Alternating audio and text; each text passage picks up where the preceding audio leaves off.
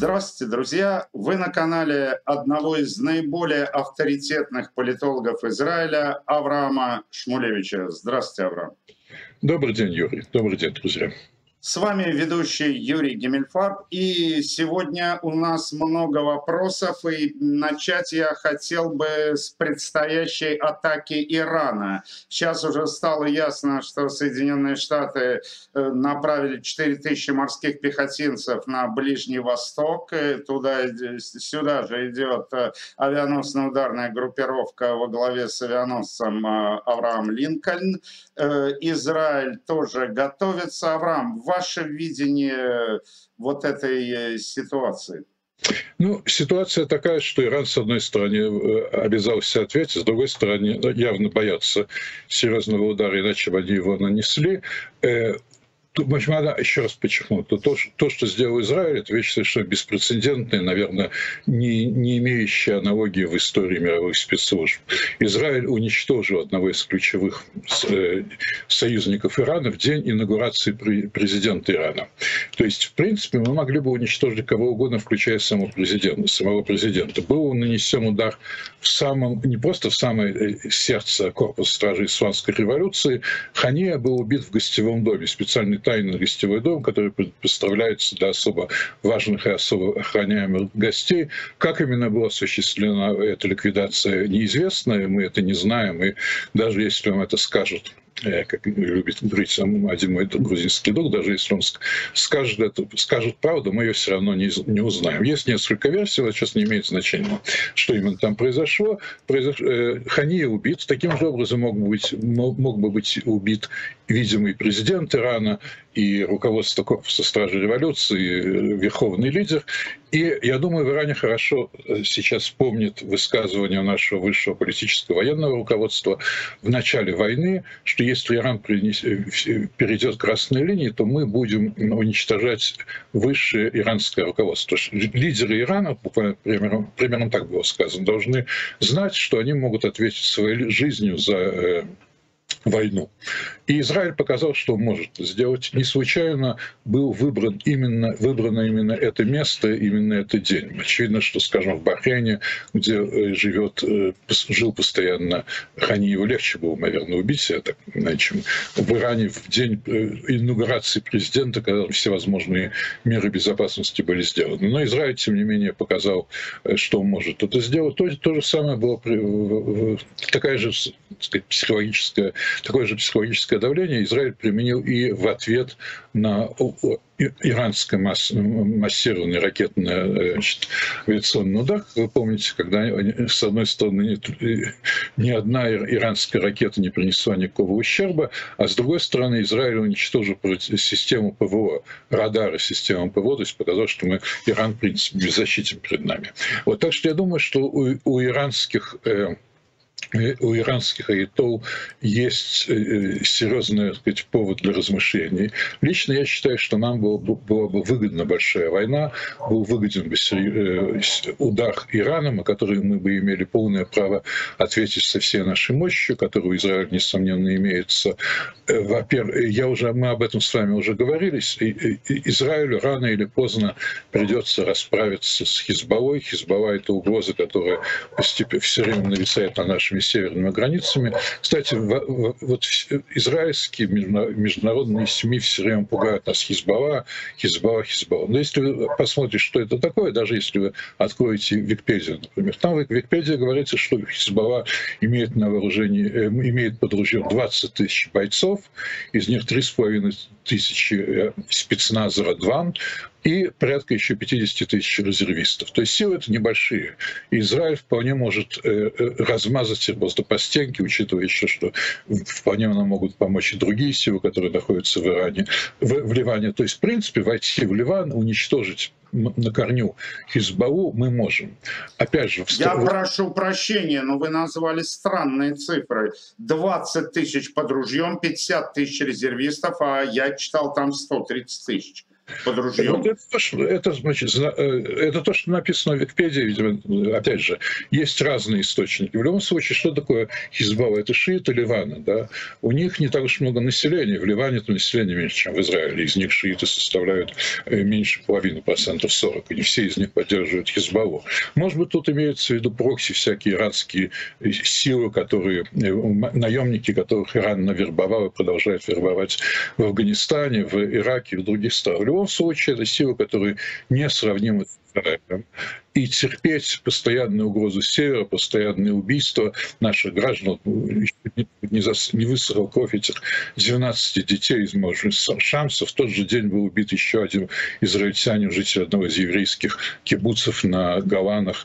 И это все продолжается бесконечно уже сколько говорят, мы с этим нужно покончить. Хизбалла должна быть уничтожена. Это сила, которая хочет уничтожить Израиль, значит, мы должны уничтожить ее. И сейчас наиболее лучшая, наибольшая, э, наиболее хорошая, благоприятная возможность для этого тоже касается и хуситов.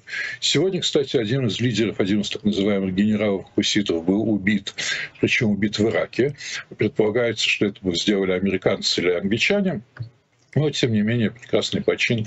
Мы с таким же образом можем, таким же образом можем нанести удар и по руководству хуситов в Йемене. Э, возможности у нас для этого есть. Опять же, возвращаясь к Хизбалле, жители Маджин Шамса, когда туда приехали израильские министры, кричали, э, когда ударили один беспилотник по Тель-Авиву, вы разнесли в половину, половину Йемена. Почему Бейрут до сих пор стоит. И почему. Э, Насрава до сих пор жив? Знаете, вот этого лидера Насрава уничтожили в его квартире в, в его квартире в Бейруте. То есть, очевидно, они все живут очень не, не скрываясь. То есть он, наверное, не первый день, день ночует в этой квартире. В любом случае, Израиль не пытаются даже, не пытаются уничтожить лидеров Хизбаллы. Мы прекрасно знаем, где скрывается Насрава, у него есть система подземных бункеров. Во время Ливанской войны Израиль пытался, кстати, у него, его уничтожить, сбросили бункерную бомбу, но она не пробила эти укрепления, которые там были. Но сейчас есть более мощное оружие, то есть пытаться как минимум уничтожить высшее руководство Хизбаллы, а не уничтожать просто каких-то шестерок мелких офицеров, которые находятся у границ, мы вполне можем. То есть, еще раз, наша стратегическая задача — уничтожение военного потенциала Хизбаллы. Все военные возможности у нас для этого нет. Если мы этого не будем делать, Хизбалла, как уже 10 лет обстреливает даже больше нашей границы, каждый день убивая наших граждан, так она и будет продолжать это делать. Ситуация сейчас вернулась к той, которая была до шестидневной войны. Я напомню, э, что было. Сирийцы тогда удерживали Гаваны. Из Гавани каждый день обстреливали север Израиля, наши кибуцы, э, поселения. Каждый день были жертвы на протяжении 10 лет практически. Пока Израиль взял и не вычистил гаванские высоты, не занял их полностью. Сейчас точно такая же ситуация возникла в Ливане. Ливан с территории Ливана Хизбалла часть ливанского государства, значит, и ливанское государство тоже ответственно за это. Каждый день обстреливают наш север, у нас несколько десятков тысяч человек беженцы, и они не могут вернуться домой, пока Хизбалла существует. Потому что какие бы договора вы с ней не заключали, если даже они будут заключены, э, эти террористы прекрасно показали, что верить им нельзя. Они завтра же может, могут, на, могут э, снова начать обстрел. Как обычно, то, что делал Хамас, и то, что правительство Израиля терпело. Помните все эти случайные обстрелы? Вдруг вылетают ракеты из газа. Они говорят, у нас короткое замыкание, мы не знаем. Или это другая ракета, а вообще непонятно, да, кто да, это сделал. Да, да, мы ищем, ищем. израильское правительство кивал головой, да, извините, короткое замыкание, мы понимаем, да, ну, убили там кого-то, разрушили, попали, но мы отвечать не будем. Ну, привело это к тому, что привело. Тоже та, та же самая ситуация будет и на, на севере. Если физически уничтожить руководство Хизбаллы и не разгромить эту организацию. Сейчас, повторяю, это наилучший момент. Американская администрация не способна что-то сделать. Понятно, что американцы будут возражать против, этого, против этого, как, собственно, всегда они нас сдерживали при всех президентах. В этом смысле политика Америки не очень-то сильно изменилась, изменилась при Байдене. Всегда Америка э, препятствовала тому, чтобы э, Израиль окончательно разгромил наших врагов. Это было при всех, даже при Рейгене. При Рейгене. Вот. Э, сейчас, сейчас, повторяю, ситуация благоприятная. Американцы не смогут вмешаться. Они не смогут надавить на, э, серьезно на Израиль, потому что это ударит по их электоральным перспективам современным, по действующей администрации. Они могут только шипеть, как мы сейчас передали разговор, американская сторона передала детали разговора Байдена и Нетаньяу, который состоялся утром, и Нетанья, э, Байден после требовал от э, Нетаньяу не вмешиваться, требовал не наносить удар, грубил ему, сказал, что ты вешаешь мне лапшу на, руки, на уши. То есть Байден сказал Нетаньяу, они могут, шипеть сколько угодно, серьезные вещи они сделать не могут. Арабские страны, которые являются сейчас нашими союзниками, э, Арабские Эмираты, э, тот же, Бахрейн, тот же да, извините, он был в Катаре, жил, э, не, не в Бахрейне. В Бахрейне у Москвы есть дипломатические отношения отношения, это вот арабские страны и Бахрейн, Эмираты и Саудовская Аравия, они много больше, чем мы, обеспокоены ситуацией в Иране.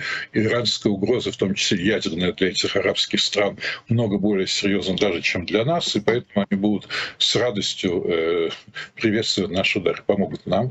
Даже Иордания, с которой у нас есть мирный договор, но мир достаточно холодный, тоже прекрасно понимает, что в случае э, усиления Ирана правящая династия не удержит, хашемитская династия не удержит своей власти. Сейчас уже достаточно э, давно э, происходит то, что Иран старается создать в, в Иордании подполье, э, поддерживает экстремистские исламистские организации, которые выступают против действующей королевской власти. То есть иорданская, иорданский истеблишмент прекрасно понимает, что усиление Ирана это конечно, угроза для Израиля, но это смертный приговор правящей королевской династии.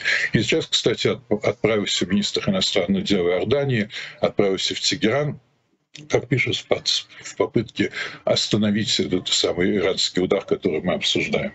То есть международная ситуация наиболее благоприятна для нас. Что касается военного потенциала, то мы пока еще, во всяком случае, сегодня Э, на голову превосходим возможности авиации, возможности ПВО, которые есть у, у Ирана.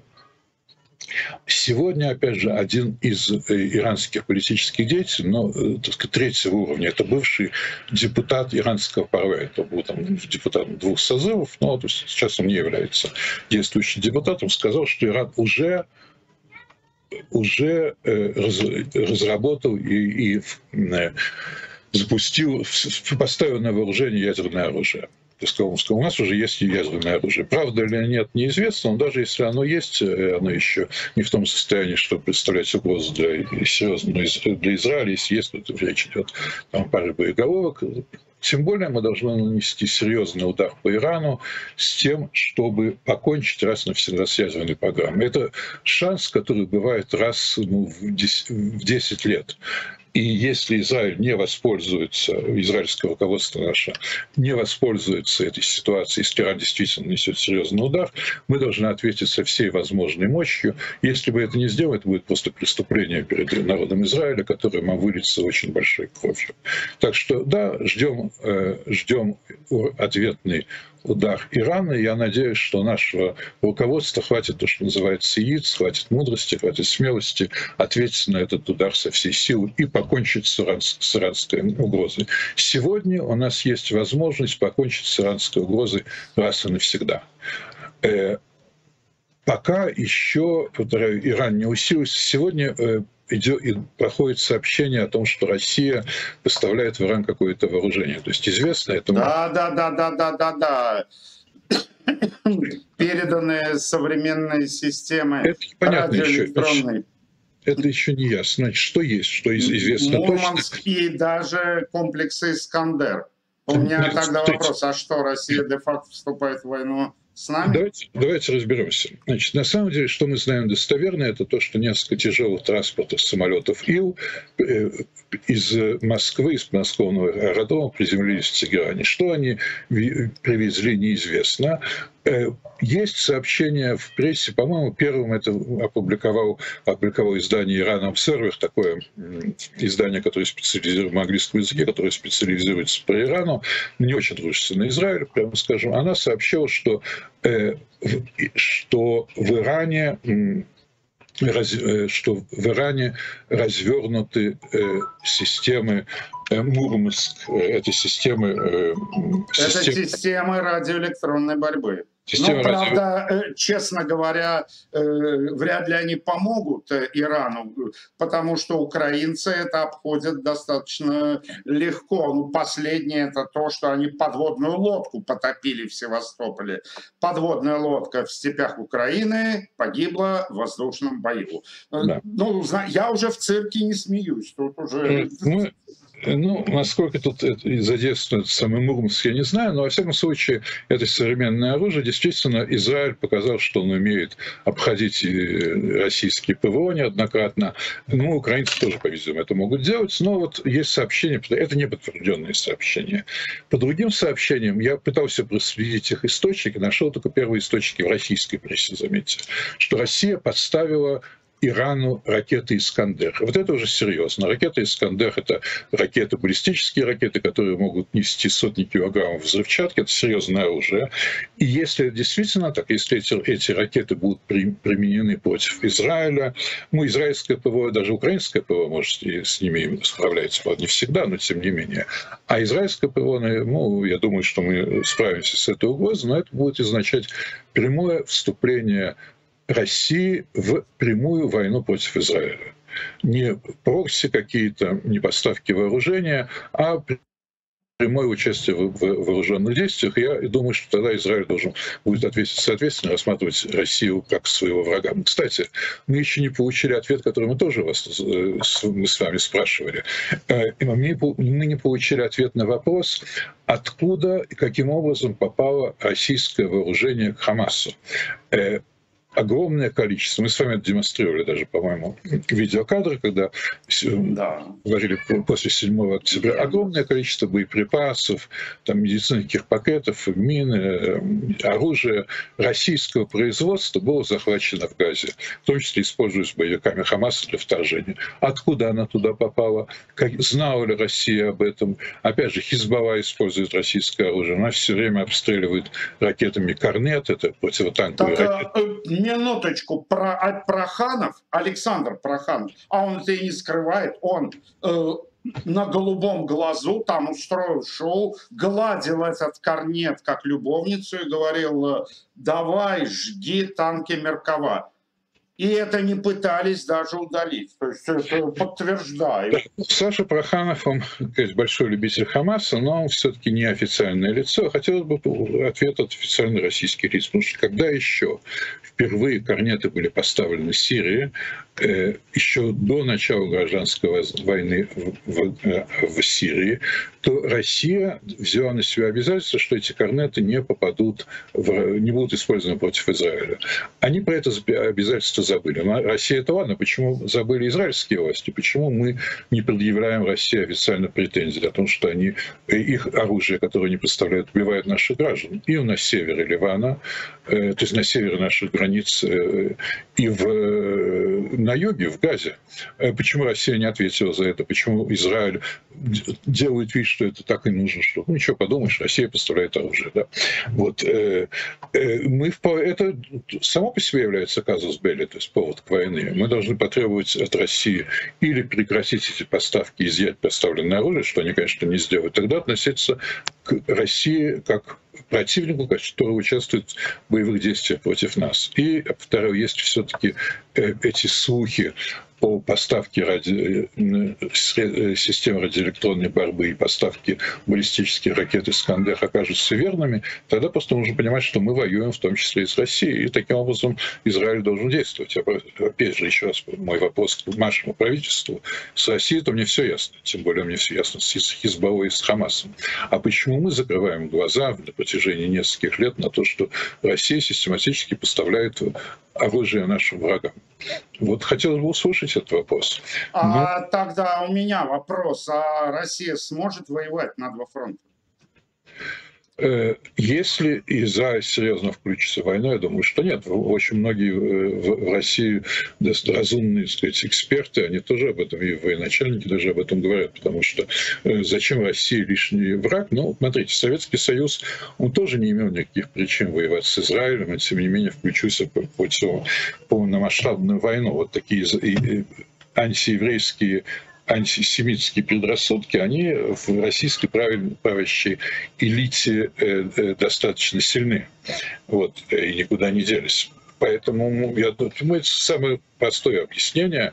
Вот. Они не любят нас точно так же, как они не любят арабов. Именно поэтому они поддерживают Иран, именно поэтому они поддерживают тех арабов, которые пытаются уничтожить Израиль. В этом смысле ничего не изменилось ни с царских, ни с советских времен. Был какой-то не очень небольшой период, когда этот российский государственный антисемитизм никак не проявлялся, но это было недолго, и Россия заняла совершенно сознательно сторону наших врагов. Повторяю, она поставляет оружие, практически непрямую участвует в войне против нас. Опять же, я напомню вам слова Ники Хейли, кандидата, бывшего посла в ООН и бывшего кандидата, кандидата в кандидат в президенты, когда она приезжала недавно в Израиль.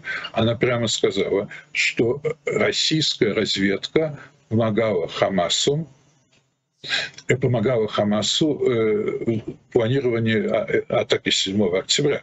Ну, действительно, разведка у них была на высоком уровне, они знали там все вплоть до расположения э, систем электронной борьбы, систем разведки, систем наблюдения внутри наших баз. Понятно, они не могли это сами получить. Вот, то есть Ники Хелли достаточно авторитетный человек, и очевидно, что она говорит, говорит, дает, приводит, привела данные которые она получила от соответствующих американских органов, спецслужб, разведки, э, армии. И э, наше правительство тоже, описано, на это никак не ответило. И вот если меня пригласили на, на конференцию, на которой выступают, э, пресс-конференции, на которой значит, задают вопросы тому же Нетаньягу, Галанту и другим нашим руководителям, я бы этот вопрос задал. Но хотя я, меня, я член Союза журналистов Израиля, меня на эти конференции не приглашают. А те, кого приглашают, такие вопросы вопросы не задают, а вот да, задавать их нужно. Вот воспользуемся нашим эфиром, еще раз спросим, что правительство Израиля сделало с тем фактом, что Россия систематически поставляет э, оружие и Хамасу, и Хизбалле. Это оружие э, убивает наших граждан. Как Россия, э, как наше руководство прокомментирует слова Ники Хейли и других экспертов о том, что Россия прямо участвовала в планировании атаки на Израиль 7 октября поставлял Хамасу разведывательные данные. И, и, и, наконец, как Израиль ответит, если Россия действительно э, поставит сейчас э, Ирану оружие, которое будет использовано для удара по, по Израилю. Э, я в этом плане могу только добавить, что, понимаете, э, меня уже в шок э, повергает то, что как в России любят Иран. Вот я сейчас продемонстрирую то, что в Украине они даже показывают флаг с Касемом Сулеймани. Да. Это, знаете, ну, это анекдот уже какой-то. Да. Я так сдался? Это фотография от февраля этого года. Действительно, э, российские военные, ну, российские военные связаны с Хизбаллой. Собственно, кто Хизбаллу обучал? Это никого не секрет. Хизбаллу в Ливане и в Сирии обучали российские военные, вагнеровцы и э, представители российской армии. Они, сказать, воевали плечом к, плечом к плечу, поставляли оружие и так далее. Это не секрет. Вот. И да, это такие настроения, которые существуют в российской армии. Вот эту фотографию, которую вы видели э, опять же, вопрос нашего руководства, что мы с этим собираемся делать. Да, я соглашусь с вами. Но вот такой интересный вопрос. Вот э, разведка и наша, и американская, и британская в качестве наиболее вероятной даты иранского нападения называет 12-13 э, августа. Это 9 ава, день, э, когда евреи оплакивают разрушение первого и второго храмов. И вот знаете, вот может я параноик, может, мне уже лечиться пора, но у меня создается впечатление, что практически все крупные атаки на Израиль происходят в наши религиозные дни. Э, это так или не так? Вот как Действительно, достаточно часто это происходит. Ну, во-первых, э, эти дни, дни, которые идут сейчас, от поста 17-го Тамуза, дня, когда была разрушена стена Иерусалима, и до 9 когда был э, полностью взят штурмом Иерусалим, сожжен храм, и первый, и второй, это произошло в один и тот же день. Это, э, согласно нашей традиции, это дни, которые неблагоприятны народу Израиля, когда враги народа Израиля имеют, э, получают какую-то силу. И действительно, огромное количество траурных событий в нашей истории происходило именно в этот день. Но это уже мистика, так сказать. Тот, кто верит э, в Торе, тот, кто верит нашим э, святым текстам, он, для него это неудивительно. Но, с другой стороны, известно, что те же самые немцы специально выбирали такие нееврейские праздники, траурных дней, день, дней для проведения акции уничтожения евреев. То есть они издевательство над евреями было. Что в данном случае я сказать, естественно, не могу. Вот, может быть, иранцы специально э, хотят э, сделать э, э, еще более больнее евреям. Может быть, они сами верят в то, что написано в нашей традиции, наших святых текстах, что эти дни неблагоприятны для еврейского народа. Вот. Ну, нет в том... Э, посмотрим. Но э, в любом случае надо понимать, что такого рода даты – это все-таки элемент скорее психологической войны. А день нападения, он скрывается всегда. Кстати, вот было опубликовано в западной прессе, например, сообщение, что Иран может ударить завтра, в понедельник. Да, такое тоже было. Вот. Но это, к этому вообще не нужно никак относиться правда это, неправда, мы не узнаем никогда. Это элемент психологической борьбы. Истощить противника, заставить его нервничать, э, когда уже он э, э, немножко расслабится, потому что нельзя находиться на протяжении, в напряжении слишком долго, тогда нанести удар. Заметьте, ту же самую тактику использовал использовал Путин при нападении на Украину. Была одна дата, потом другая, потом в эту дату ничего не произошло, все расправились, и бац, российские войска, войска начали вторжение. Это, повторяю, классическая тактика, то, что лучшее, что я могу вам посоветовать, друзья, просто не обращать на все эти даты никакого внимания э, игнорируйте сообщения. Когда Иран, Иран нанесет удар, когда он сможет, и когда он будет, будет считать, что он получит наименее, наименее, наименее слабый ответ с нашей стороны. Просто должны быть готовы, должны быть готовы к удару в, в любой момент, но э, от нас с вами, от рядовых граждан, это ничего не зависит. То есть будем мы нервничать, не будем мы нервничать, будем мы сидеть э, и дрожать, или э, как люди сейчас боятся выходить на воду, отпуск, там куда-то детей вывозить на природу и так далее. Живите нормальной жизнью. Э, потому что у нас война в нашем регионе уже идет три с половиной тысячи лет. Вот. Я надеюсь, что э, наша разведка и наши ПВО будут готовы к этому удару, если он, если он все-таки произойдет. Вот. Но слишком зацикливаться на всех этих датах, на слух и так далее не стоит, просто здоровье дороже. Э, я согласен с вами полностью, но вот такой вопрос. Сегодня, вот э, несколько часов назад э, в Холоне был ножевой теракт. Погибла женщина 66 лет и мужчина 80 лет. Но террорист нейтрализован. Тут он из поселка Салфит в Самарии. Якобы он психически болен. Но тут вот что любопытно. Там э, в местных чатах тонны, буквально тонны пропаганды насилия, э, детальный список советов, как выбирать нож, карта тела с пометками. То есть, понимаете, вот э, это суть палестинского террора. Убить двух пожилых евреев и праздновать как больную победу. У меня создается впечатление, что там не один психически больной, а вся деревня лечить пора, причем радикальными методами, консервативными уже, на мой взгляд, они не помогут. Я бы сказал, находите... что это я бы сказал, что это суть так называемого искусственно созданного палестинского народа, который был создан, палестинская политическая нация была создана исключительно с одной целью – уничтожить государство Израиля. Что касается психически больного, то ну, сейчас и арабы просекли, что как бы больным относятся менее, более сочувственно, и они объявляют любого террориста э, больным. Сейчас они психически больной, э, но э, серьезно относиться не нужно, к этому не нужно.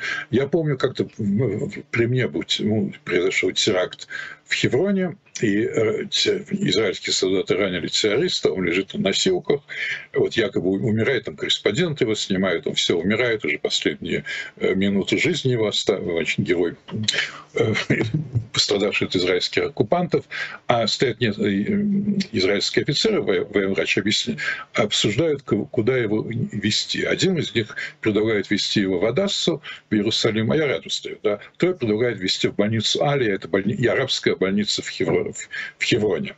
И тут араб поднимает голову, такой садится и говорит, только вода с И снова. Вот это то, что я видел. Ну, что в больнице Али он понимал, что ему, он действительно был ранен, да, и понимал, что шанс у него много меньше. Вот. Так что это такая игра, они будут объявлять всех э, своих террористов психическими больными, почему нет? Но э, психически больной или не психически больной, он спланировать теракт, он проник на израильскую территорию, это не имеет значения. Опять же, та пропаганда, которая э, идет в арабских медиа, в арабских социальных сетях, вот, она из, направлена именно на уничтожение Израиля, поддержка террора. Что касается мер, которые нужно принять, применять. Нет, можно применять, применять вполне консервативные меры. В Израиле действует, вы удивитесь, уголовный кодекс. И поэтому... Да, э, пользуясь случаем, называ, вы его можете все прочитать. Называется он «Закон об уголовных наказаниях государства Израиль» в переводе Марата Дорфмана, издание 2010 года. Он есть совершенно бесплатно в, э, в интернете, вы можете его найти. У меня в телеграм-канале, во всяком случае, он тоже есть. Читается как детектив. О, рекомендую. И рекомендую. там есть статья о пропаганде террора, о поддержке террора, о поддержке террористической организации и призывы к убивать евреев, фотографии орудий убийств возможных, э, поддержка совершенных терактов являются уголовным преступлением, согласно закону государства Израиль. И попробуйте сделать такой эксперимент. Я вам не советую его делать. Напишите у себя в социальной сети призыв к, к теракту Э, против какого-нибудь израильского действия. Опять же, я не призываю, это эксперимент. Да? И уверяю вас, что очень быстро вы столкнетесь с Шабаком и с полицией. Почему эти арабы, которые э, на таком же понятном для наших э, полиции спецслужб чистом арабском языке призывают, публикуют призывы к поддержке террора, к убийству евреев, к одобрению совершенных терактов, призывы совершить новые, почему наша полиция с ними не делает? Любой житель этого салфита, который и любой друг, друг другого населенного пункта в Иудее, Самарии, на территории собственного государства Израиля, где угодно. Потому что в Сальфите действует израильская все-таки израильские уголовные э, коды. Мы, любой человек, который совершает такое преступление, даже если он находится вне Израиля, все равно подлежит ответственности. Призыв к убийству израильтян. Почему эти люди, которые публикуют вот такого рода пропаганду в интернете, могут делать совершенно свободно, их никто не арестовывает, почему царь не заходит в этот сальфит и не привлекает к ответственности тех, кто пропагандирует террор. Мы все время пишем, и действительно так, что в арабских садиках на территории той же Иудеи и Самарии.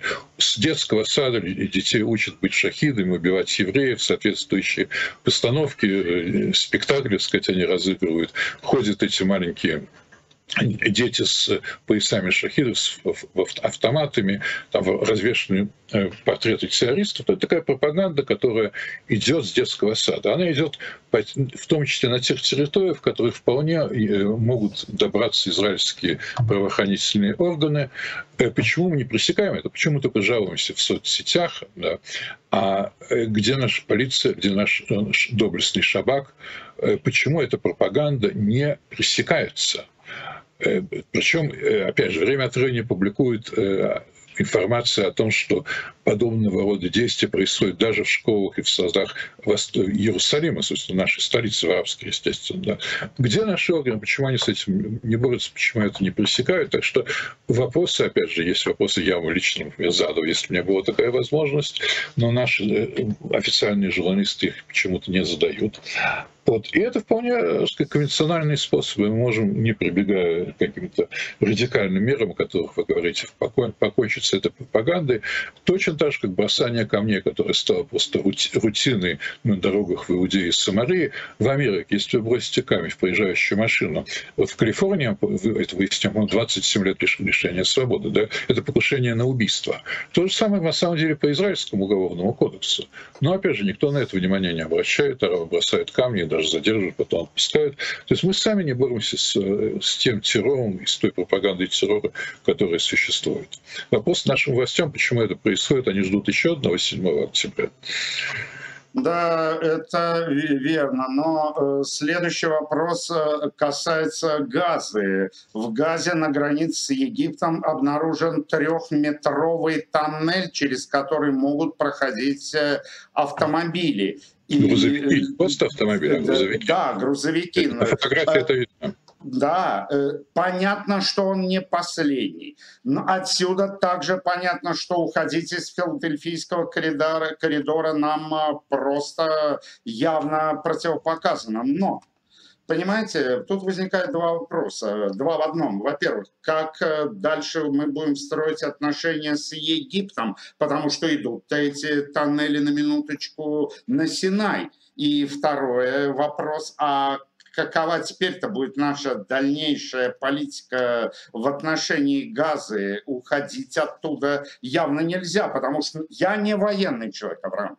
Но даже мне понятно, что стоит уйти из филадельфийского коридора через э, такие вот э, э, норочки, через в которых грузовик, ну вот, ну смотрите, ребята, ну это что-то уже просто невероятное.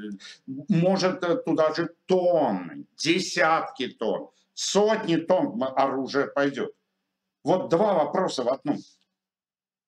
Более того, было сообщение Э, что, э, что причем официальное, я понял, сообщение армейское, что армия знает, что десятки тонн боевого снаряжения находятся на складах по ту сторону израильской, израильской египетской границы, и если э, если Царь оттуда уйдет из, из этой границы, то есть филадельфийский коридор, о котором мы говорим, это собственно, граница между, э, между сектором э, Газа и Египтом. Так вот, если мы уйдем, вот это значит в последнее время сила 162-й дивизии и при, и силы при подразделения Ялом, это инженерные войска, ведут работы по обнаружению разрушению подземных туннелей то есть э, к, момент, к настоящему моменту силы обнаружили десятки, разрушили десятки туннелей. То есть, э, еще раз, это официальное армейское сообщение, 162-я дивизия, да, разрушила десятки таких туннелей. Не один, и не два, не три. А сколько еще не обнаружено? Известный э, израильский основной генерал, генерал Брик, который часто выступает с критикой армии, он недавно, слушал его интервью, он говорил, что на самом деле то, что он рассказывает наше израильское армейское руководство, это полный блеф. Мы не контролируем филадельфийский коридор, то есть мы, может быть, контролируем землю, но под землей находится огромное количество туннелей, которые э, Израиль не обнаружил и, не обнаруживает, что ему эту генералу Брику пишут, и звонят резервисты, которые там служат. Мы знаем, что под нами, под, под нами идут туннели, наше начальство ничего с этим не делает. Но вопрос даже другой. Эти, эти туннели, как вы правильно Э, заметили ведут в Египет. Эти грузовики, которые мы видели на фотографии, они заезжают из Египта в эти туннели. Потом они должны еще пересечь, э, откуда-то они берут эти э, тысячи тонн военных грузов. Где-то есть склады в глубине Египта, они должны пересечь Синайский полуостров, который прекрасно просматривается. Где наши э, союзники египтяне? Как бы, да? Мы а где наш... наши союзники американцы, которые по Камп-Дэвидскому соглашению тоже обязаны контролировать? О! Да, Совершенно верно. По Кабдаевскому соглашению американцы взяли на себя обязательство контролировать то, что э, стороны не будут нарушать демилитаризованный статус Синайского полуострова, то есть то, что Египет завозит, позволяет завозить через свою территорию эти грузы, которые ну, потом используются против нас, все это вооружение и так далее.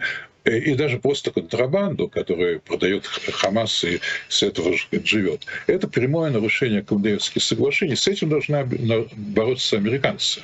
Почему они это не делают? Почему наше правительство, опять же, не поднимает этот вопрос? И э, туннели существуют не вчера. Даже я слышу э, интервью отставных офицеров нашей разведки, которые говорят, что им просто известны, были по долгу службы э, а имена египетских офицеров, которые отвечали за этот туннель. То есть за каждым туннелем был какой-то офицер, который за него отвечал, он получал деньги, какой-то процент контрабанд, денег, которые получили э, за контрабандные товары, которые проходят. Вот он проходит туда в том числе и оружие. Понимаете, мы знаем даже фамилии офицеров, которые этим занимаются в стране Египта. Где протесты, в конце концов, что стоит этот самый Кэмп договор тогда, если Египет э, практически, если называть вещи своими имена, своими именами, он вооружает Хамас. Опять же, мы с вами это говорили в нашем первом эфире после 7 октября. В эти... нескольких эфирах, я вас вынужден поправить, в среднем раз в месяц мы с вами поднимаем этот вопрос. Все а эти... они там тысячи тонн вооружения, которые Хамас использует и использовал до сих пор, вот сейчас только что были снова обстрелы израильской территории, сектора газа, который уже зачислен, да, вот. Все эти ракеты, все эти бомбы, все эти современные оружие, оружие, взрывчатка и так далее, они получают как? Через эти тоннели, через египетскую территорию. Почему мы молчим? Почему не требуем от Египта прекратить это? Э, действует ли уже Камп договор? По сути, нет. И какая вероятность того, что в один прекрасный момент мы будем иметь, э, иметь дело с вторжением не просто боевиков Хамаса, а регулярной египетской армии, тем более, что египетская армия, в принципе, готовится совершенно открыто к войне с Израилем. Опять же, где наше руководство, почему оно ничего по этому поводу не говорит? Хотелось бы э, узнать, что по этому поводу думает Герц Олеви, Галант, Нетаньягу. Но вот почему-то они с вами своими соображениями не делятся, вынуждены делиться мы. Понятно. Теперь вопрос у меня о событиях в Соединенном Королевстве. Дело в том, что там уже после событий в Саутгемптоне начались настоящие уличные столкновения. И местные, они против Аллах-Акбаровцев э, уже воюют э, пока что кулаками. Пока, я подчеркиваю. Э, мигранты кричат э, «Аллах Акбар, это теперь наша страна» и так далее. Местные с этим, мягко говоря, не согласны. Но дело в том, что многие аналитики, вот я читаю, они всерьез заговорили о возможности гражданской войны в Великобритании. Ваше мнение, Авраам? Ну, действительно, в Англии, в курортном маленьком городке Саутпорт, Московск, было зарезано несколько девочек, э, маленьких девочек, 10 лет, которые э, занимались в танцевальном кружке. Убийца — это э, мигрант, точнее, он сам руандиец, то есть африканец, негр. Его родители приехали в Англию из Руанды в качестве беженцев. Он родился уже на территории Англии, но это им помешало ему зарезать своих, так сказать, новых сограждан. Есть разные сведения относительно его религиозной принадлежности. Некоторые а, официальные английские власти вообще долго даже не называли его имени, боясь такой реакции. Имя просочилось в социальные сети.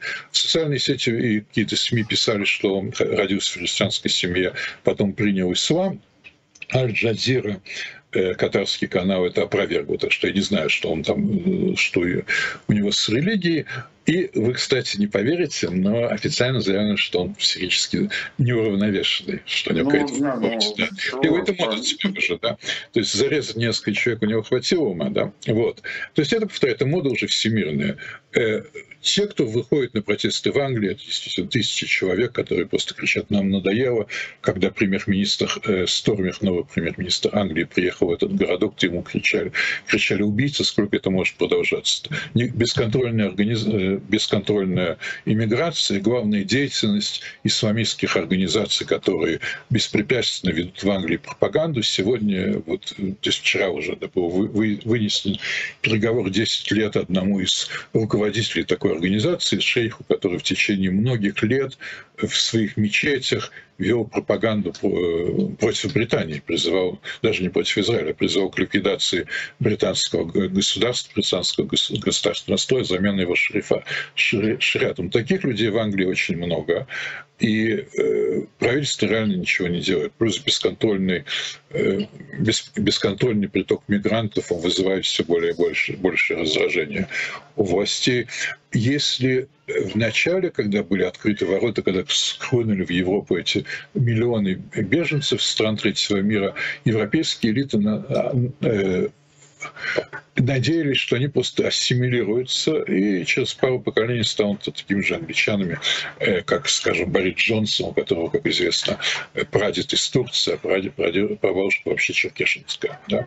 Правда, у него прадед был министр внутренних дел Турции, но это, так сказать, вопрос ротации элит. Вот. Но это не произошло. Это уже очевидно, что политика открытых дверей претерпела э, фиаско. Опять же, понятно, с чем это связано, с тем, что есть э, современный информационный мир, все эти э, социальные сети, до этого телевидения, средства связи э, ведут к тому, что иммигрант, который прибывает в Европу, ментально находится на своей родине, еще даже иногда больше радикализируется. Приведет ли это гражданской войне в Англии, э, я, честно говоря, не думаю, хотя не специалист по Великобритании, хотел бы послушать тех, кто живет там. Но ситуация накаляется, да, не только в Англии, не только в Европе сейчас происходит столкновение. С одной стороны, участвуют вот эти вот э, э, так называемые правые активисты, далеко не все из них реально правые и активисты, просто люди, которым надоела сегодняшняя ситуация. Вот часть из них входит в какие-то правые организации, наверное, но вот, опять же, западная либеральная пресса любит всех э, противников иммиграции, всех противников ислама обзывать э, радикального ислама, политического ислама обзывать всякими нехорошими словами и заявлять, что они входят в какие-то организации. Говорят, опять же, английские СМИ, что члены вот эти, ну, те, кто устраивают эти выступления, столкновения с полицией, громят э, места, места проживания мигрантов, они являются членами некой организации Лига обороны Англии.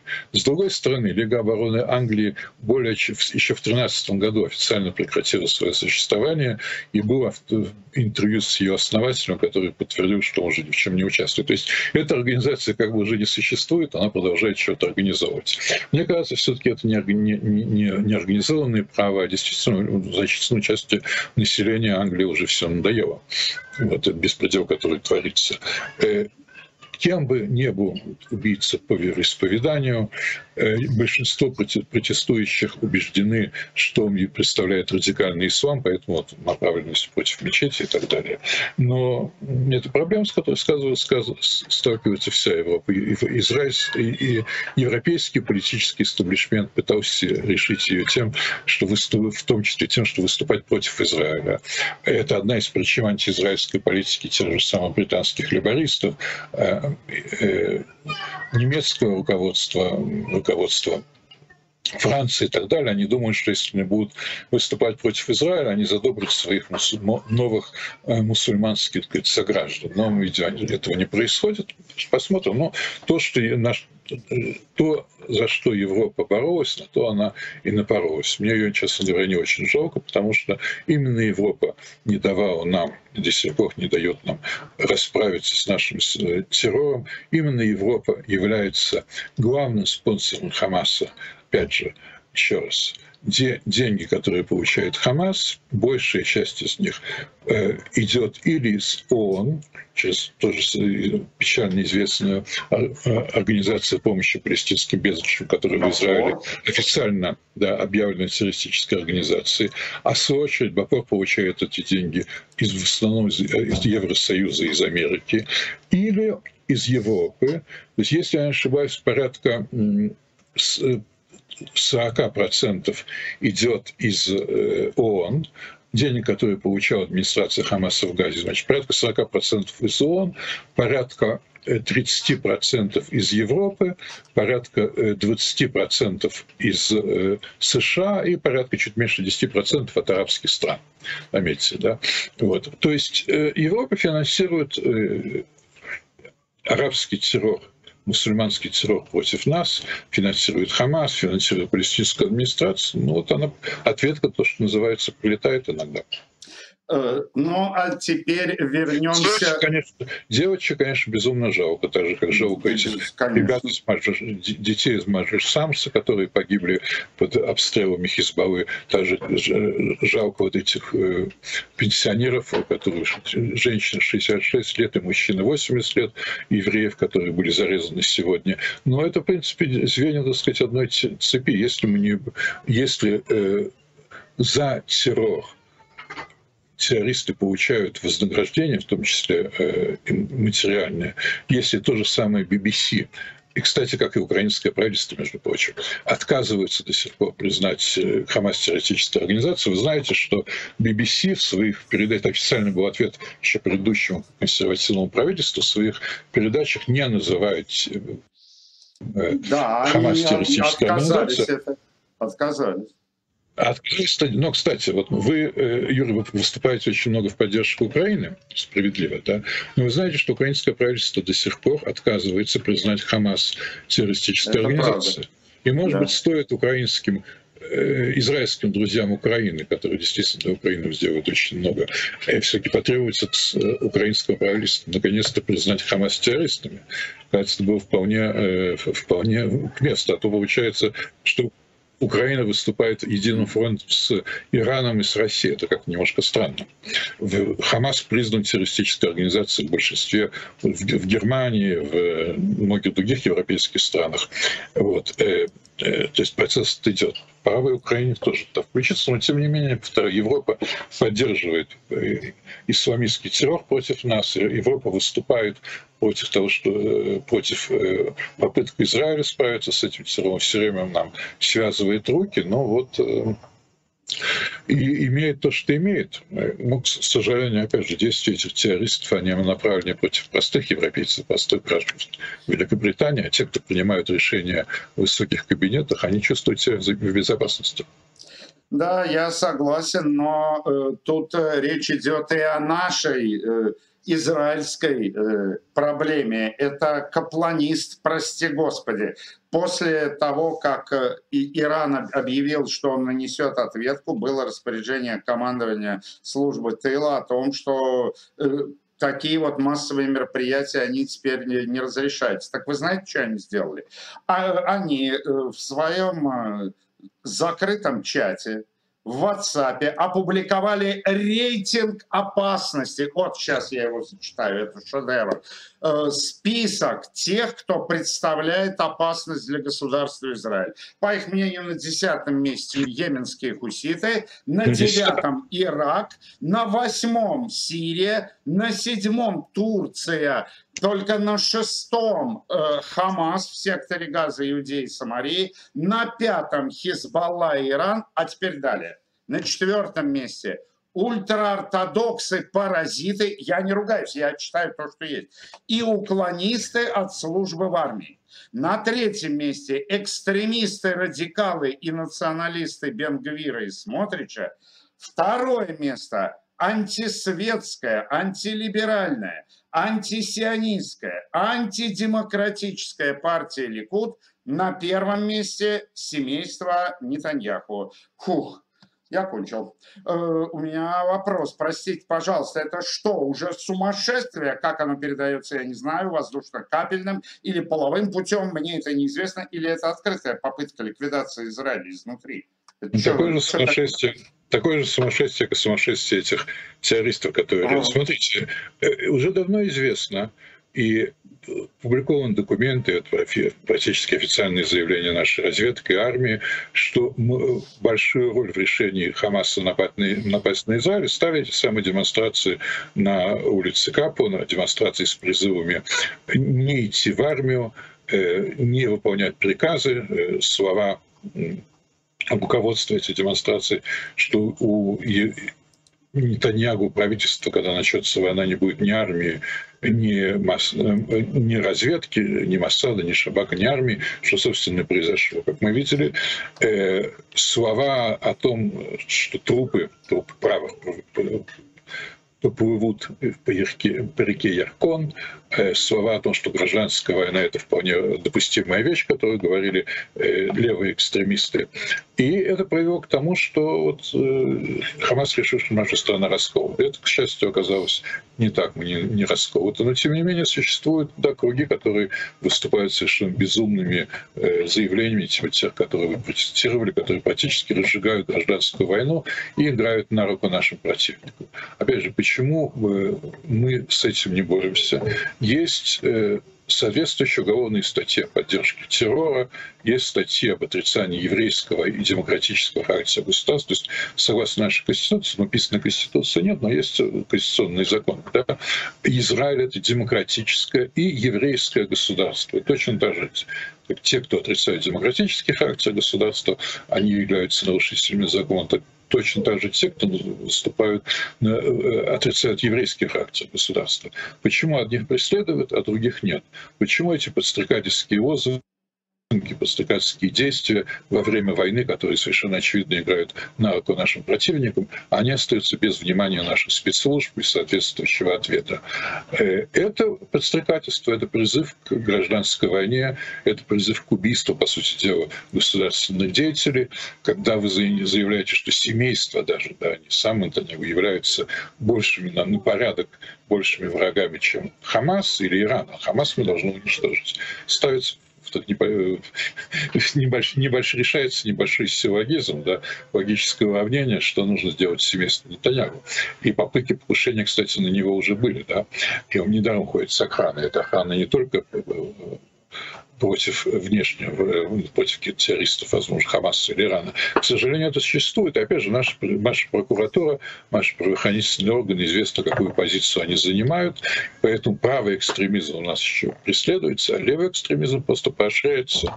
И люди, которые служат в том числе и в государственных структурах, в силовых структурах, они в том числе, известно, что есть из них, те из них, кто поддерживают совершенно антигосударственные, антидемократические взгляды. То есть, да, это сумаш... это не сумасшествие, это вот такое еврейское э, болезнь, скажем так, желание уничтожить государство Израиль, желание, такие, точнее, уничтожить тех, кто видит будущее, настоящее государство Израиль по-другому, чем видите вы. Это желание более сильное, чем желание бороться со своими врагами. Это очень ну, печально. Это привело да. нас уже к той войне, которую мы имеем. И уже есть призывы, раздаются призывы в таких левых организаций снова не идти в армию, отказываться выполнять приказы, отказываться идти в МИУИМ. Э, это антигосударственная деятельность, а мы платим за нее своей кровью. Да, к счастью, их э, не так много, и их э, подавляющее меньшинство. Это внушает оптимизм. И в заключение, Авраам, я хотел бы задать мой вопрос. Он не совсем по теме нашей беседы, но это топовая тема, и обойти ее нельзя. Это обмен российских политзаключенных на убийцы бандитов и последовавшая за ним пресс-конференция. Друзья, я вчера в беседе с э, Светой Герасимовой высказал свое мнение, и в тайм-кодах будет дана ссылка на мое мнение, но хотел послушать вашу точку зрения, Авраам. Что вы по этому поводу думаете? Э, во-первых, эта тема действительно важна для нас, потому что, как мы говорили, Россия превратилась в нашего врага. Россия постав, уже поставляет нам оружие, э, то есть поставляет оружие нашим убийцам нашего врага. Россия уже поставляет нам развед, развединформацию, и, может быть, завтра она примет участие в этом ударе, который нанесет э, Иран по нам и в противодействии со стороны Ирана удару, который мы несем в ответ. Так что действительно может, нужно хорошо присмотреться к той ситуации, которая складывается внутри России. У нас есть чем ответить. Если Россия, да еще, опять же, Россия вмешивалась и пытается вмешаться в израильские выборы, об этом там даже наши спецслужбы говорили, раскачивает ситуацию. У нас были данные достаточно авторитетные, все можете с ними ознакомиться, что Россия пытается внести раскол в израильское общество, точно так же, как они делали в Америке. Она в, э, внедряется в наши социальные сети и так далее, и так далее. То есть Изра...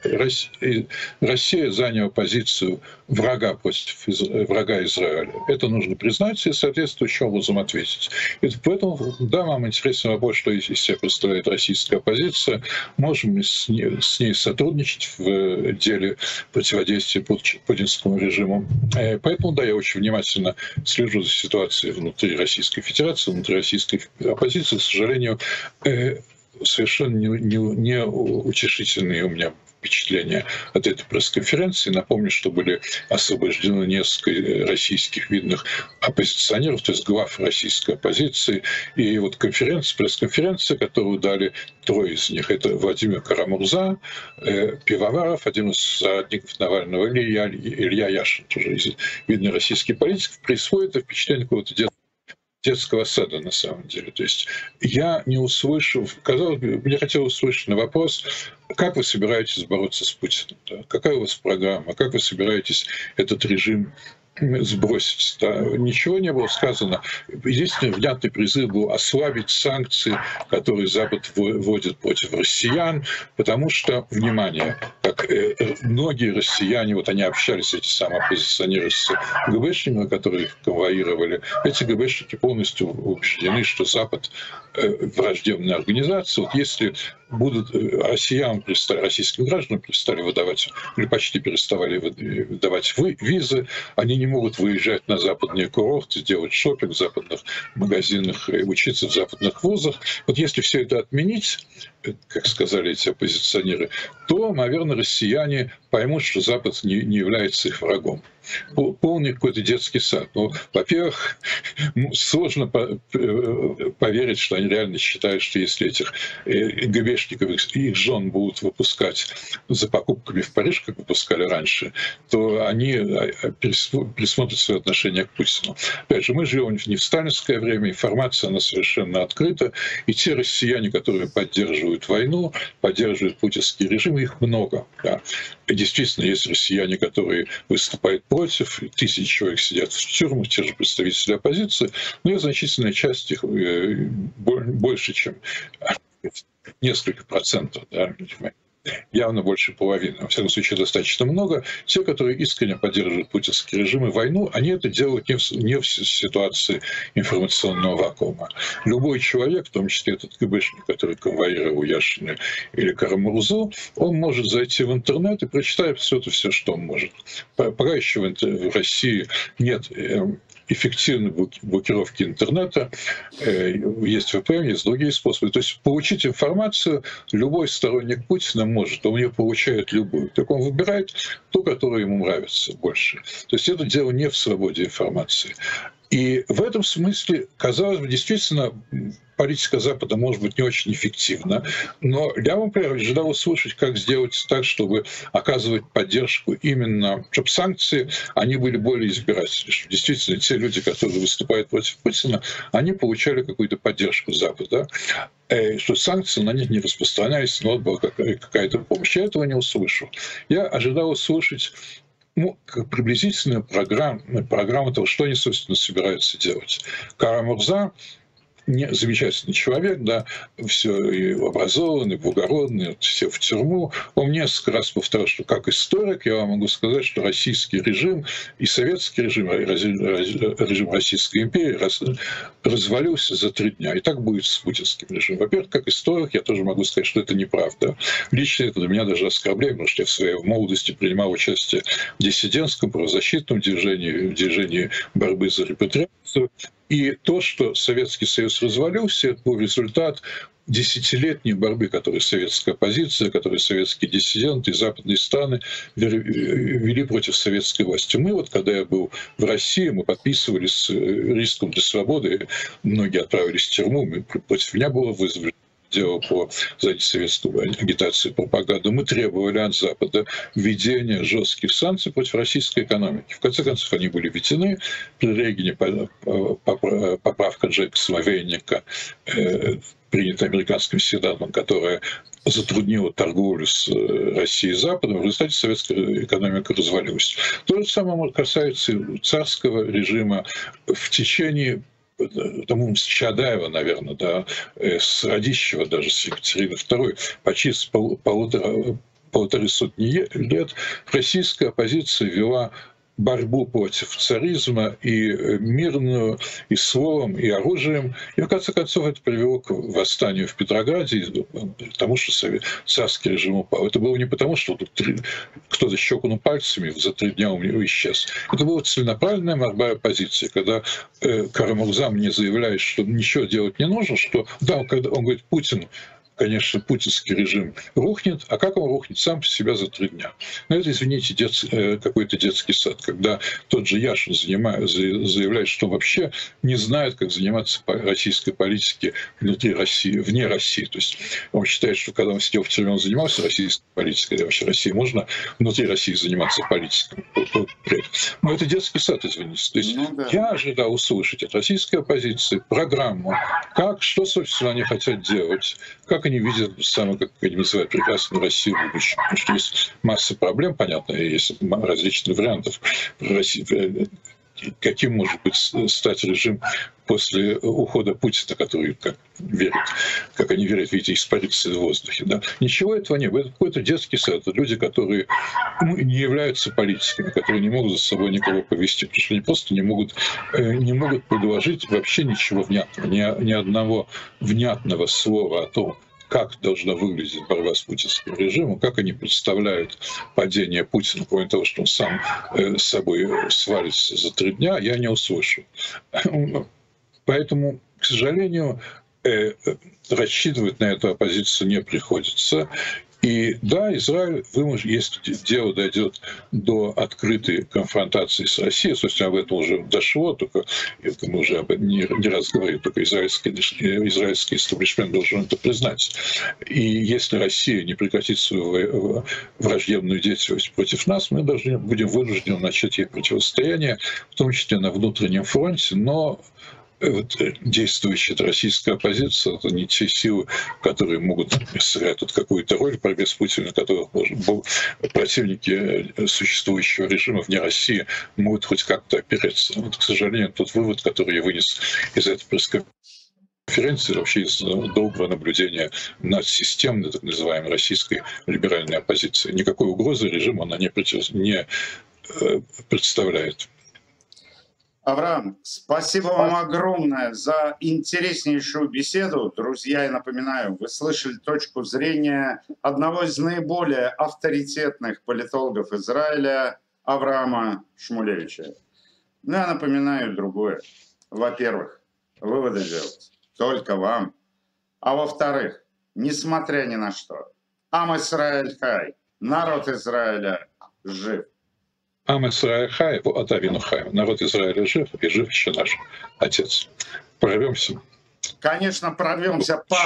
Подписывайтесь на канал Авраама, подписывайтесь на его телеграм-канал. Э, вы обратите внимание, друзья, правила Ютуба очень строги. И далеко не все то, о чем мы сегодня говорили, я мог подтвердить э, кадрами. Ну, например, вот столкновение в Великобритании. Например, то, что сейчас э, реально вытворяют капланисты на, в Израиле. Вот был, например, случай, когда какая-то мамзель левая, она с кулак, чуть ли не с кулаками напала Дай, на женщину. Дайте эту а я не могу, правила Ютуба таковы, вот не могу я это показать. Там был случай, когда от женщины, религиозная женщина сделала, сделала замечание это самое, какой-то участнице этой демонстрации, о том, что демонстрация во время войны, это реально это есть видео вот, которое я прислал. Это в телеграм-канале есть. Напал на нее и содра, содрал с ее, говорит, религиозная женщина, содрал с ее головы парик. Вот, и все это записано на камеру, полиция начала расследование, ну, посмотрим, чем оно закончится. То есть да. это уже, в принципе, факты насилия, этих капуанистских демонстраций, демонстраций над всеми, с кем они, э, кто с ними не согласен. Вот поэтому подписывайтесь на наши телеграм-каналы, подписывайтесь на мой YouTube-канал. И да, в связи с тем, что с Авраама сняли монетизацию, за, за то, что якобы он, это не он, о, он ну, замечательно. Вот такая формулировка. Э, прошу по реквизитам в описании поддержите канал Авраама и до встречи. До встречи, друзья. Удачи.